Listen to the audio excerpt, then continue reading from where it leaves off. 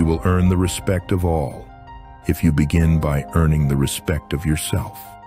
Musonius Rufus. If you value and respect yourself, others will naturally follow suit. Stoics believed internal integrity and self-respect were essential building blocks for a good life.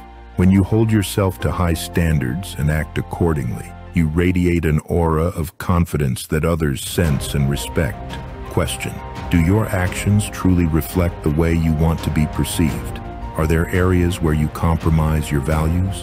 How can you prioritize self-respect in your daily decisions? Action items. 1. Identify core values.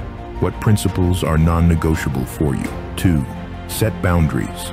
Learn to say no to protect your values and time. 3. Practice self-compassion. Cultivate kindness toward yourself alongside self-respect.